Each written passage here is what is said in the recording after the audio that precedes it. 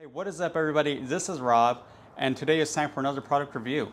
So if you guys remember, I have done Screen Protech products in the past on my Tacoma, but this time we're actually going to be looking at a product for the Toyota 4Runner guys. So this is the screen protector for the gauges as well as the infotainment center and the parking reverse neutral plastic guys. Really nice. You may have seen that I have done this before for the Tacoma. This will be pretty much the same deal for the 4Runner. Guys, Screen Protech, they have shown me time and time again that they're a great company. Their customer service is also stellar. I highly recommend looking into them, guys. They do have a wide variety of products for a wide variety of cars, guys, not just Toyota, not just 4Runner, not just Tacoma. A whole lot of different cars they have, so check them out on their website, guys, on Screen Protech's website. And remember, guys, if you guys want any Screen Protech products, use the coupon code ROBS Autos for discount, guys. That is ROBS Autos. It will get you a discount on their products definitely worth checking into, especially if you're like me and you like to protect your products. So go ahead and check them out. And with that, we're gonna go ahead and do the unboxing of the Screen Protech Screen Protector 4D4 Runner.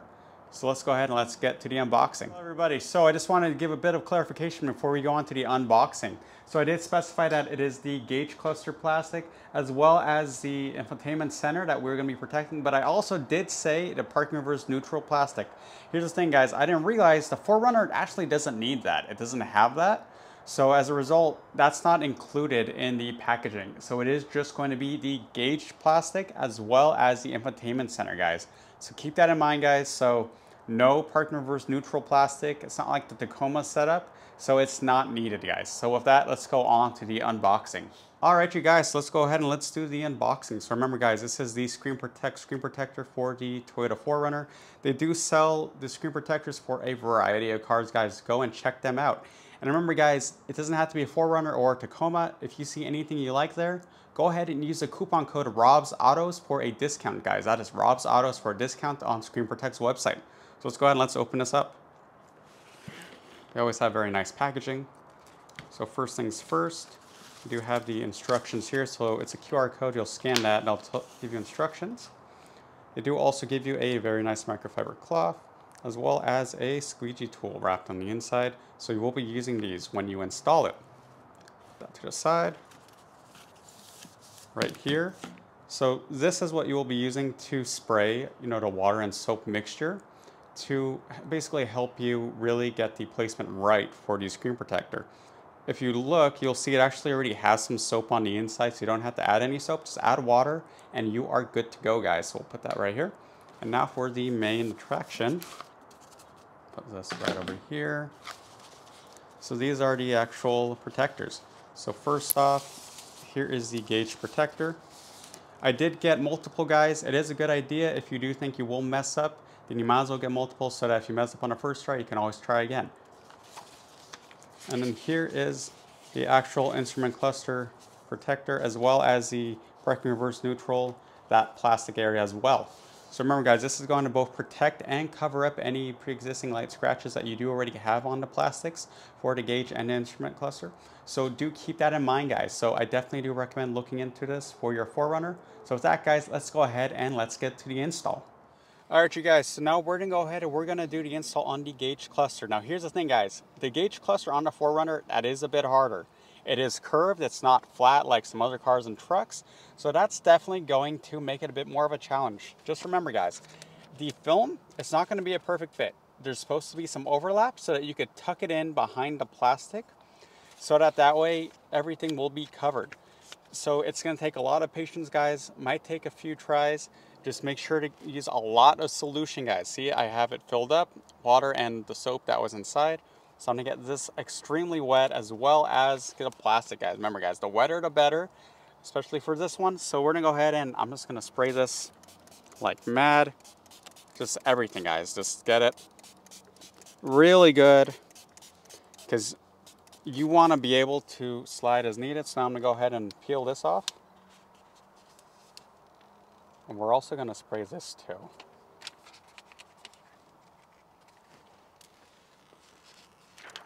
So this is off.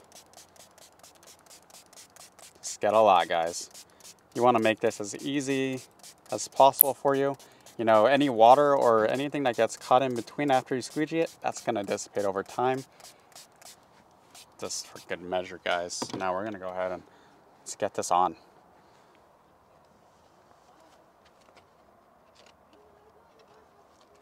All right, so as you can see, I'm gonna tuck, I'm gonna tuck it in here on the sides, tuck it in.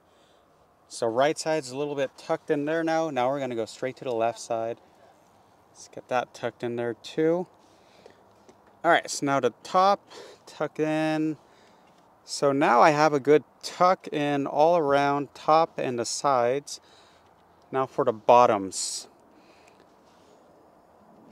So just gotta keep on sliding it. There we go. So see that? It's sliding in under there. So that's good. Some good work right there. So I'm gonna go ahead and spray some more.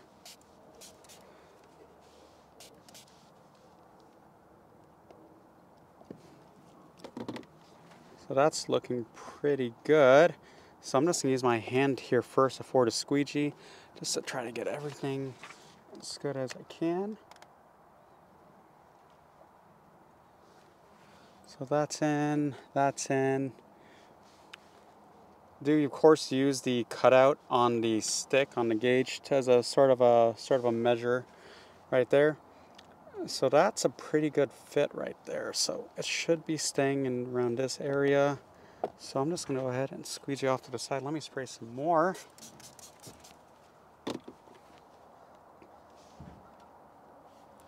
All right. Curb surfaces are always a pain with this kind of stuff, guys. It just takes a lot of patience, a lot of effort. You're going to see we're going to have a much easier time when we get to the infotainment area. Alright, so now it's pretty much in place, so I'm just going to go ahead I'm going to start squeegeeing it out, guys. Let's get that water out. So first, let's so this is perfectly good. So let's tuck this in. There we go. So look at that, guys. It's starting to stick. That's what we wanted. I'm also making sure that when I'm squeegeeing it up, I'm helping to tuck it in there.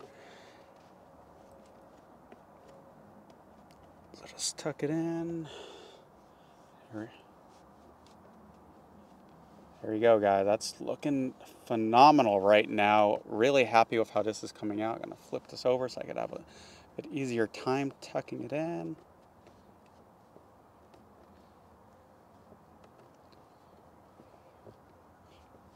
All right, so we're to come back to that area in a little bit.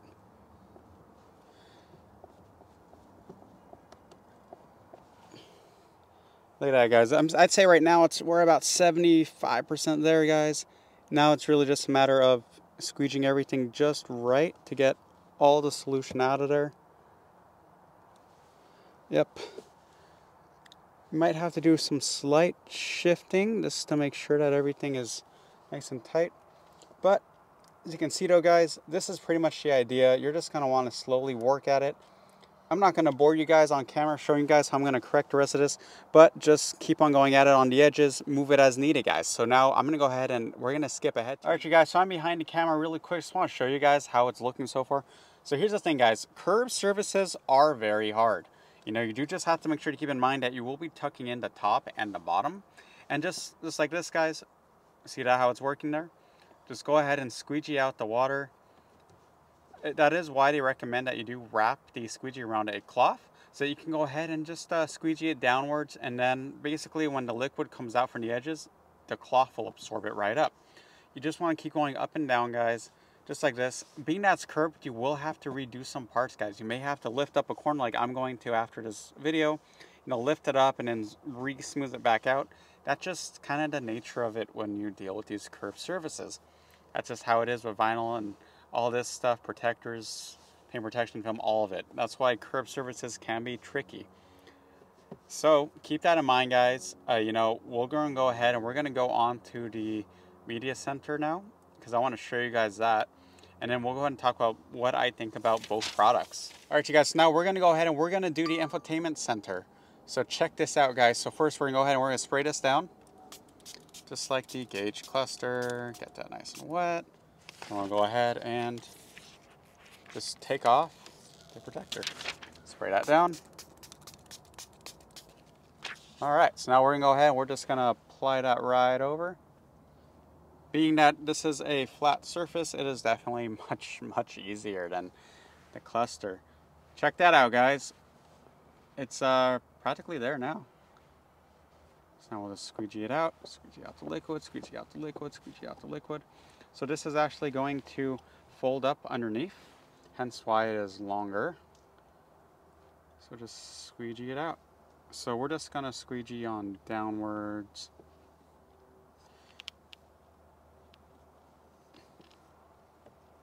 And on the edges, with such a nice flat piece of real estate, we're able to just get this all right out. Of course, remember too guys, any bubbles remain, they will work their way out eventually. And what is nice is that if you did have scratches on your screen, this will also help cover them up, as well as preventing more. So so we're just gonna keep on working this. I just wanna make sure that this is all good. You know, make sure that everything here is fitting perfectly, which it is. Look at that, guys. Nice and simple, nice and easy. And now we're gonna go ahead and just, we're just gonna fold this over. This is the part that might be a bit more of a pain, but just squeegee it out, guys. Remember, have this wrapped so that this is absorbing any liquid.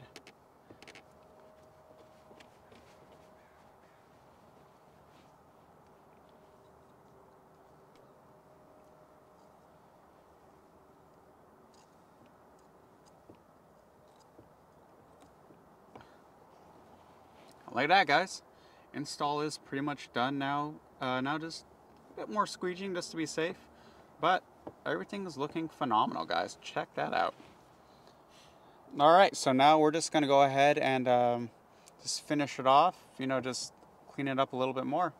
And then let's get to some uh, my closing thoughts. All right, you guys, so there you have it, guys, the 4Runner, both the gauge and the instrument panel install. Guys, that gauge cluster, that is a monster. I'm not gonna lie, it's going to take a lot of patience. I had to pretty much go inch by inch, you know, lifting and smoothing, lifting and smoothing. You know, just really just make sure that, uh, one, you keep everything nice and lubricated so that you can move everything around easier. Two, make sure you have your squeegee, you know, wrapped in a cloth to absorb the liquid so you can really get those corners in right. And three, remember guys, it's supposed to be an up and down motion. The tucking is on the top and bottom part of the protector, so that tucks in it's it's not an easy job, guys. It's, if you do it and you do it right the first time, you give yourself a pat on the back. You're a pro at this. It definitely took me a few tries, but definitely looks pretty good. And then also the instrument panel, when that one looks great. Also, guys, you know, now the infotainment center looks nice and clean. It did cover up some of the light scratches that were on it, so I'm really happy about that. Uh, so yeah, overall, guys, of course, you know, Screen Protech. Go ahead and check them out. Once again, guys, coupon code Rob's Autos on their website. All right, Rob's Autos it's at the top. Make sure to check that out, guys, and get a discount. So with that, guys, this is Rob, and have a good one.